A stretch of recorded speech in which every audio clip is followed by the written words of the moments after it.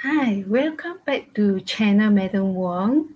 Today we are going to learn speed time graph part 3. How do you solve problems involving speed time graphs? Diagram show the speed time graph of the movement of a particle for a period of t seconds. Find the rate of change of speed in meter per second square in the first 4 seconds. Okay, so where is the first 4 seconds?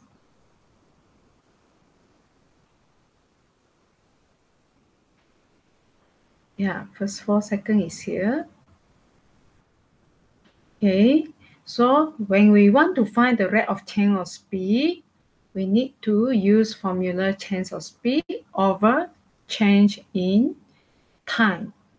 Okay, so here final speed 12 minus initial speed 4 over 4 minus 0. Also, we can use gradient to find the answer.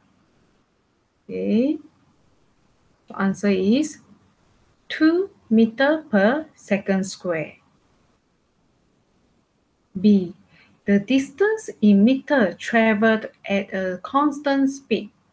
Okay, where is the constant speed? Constant speed is here. We call it as uniform speed also. The distance for speed time graph, we use area under the graph to find it. So 9 minus 4 5, 5 times 12. So you will get 60 meter. Now we look at C, the value of T. T is here.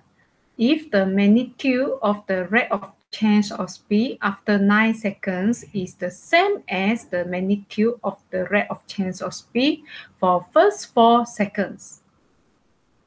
Okay, so means that acceleration after 9 seconds uh, equal to acceleration for the first 4 seconds is here.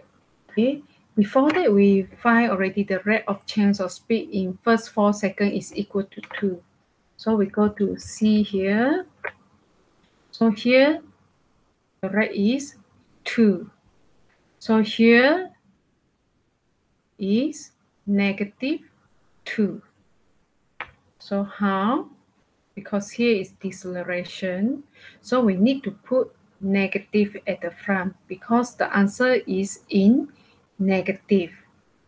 Okay, so negative final speed 0 minus 12 over time t minus 9 equal to 2. Okay, so negative, negative, positive. So 12 over t minus 9 equal to 2.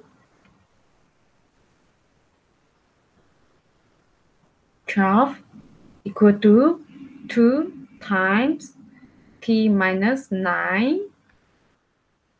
So I move 2 to the left hand side. 12 divided by 2 equal to t minus 9.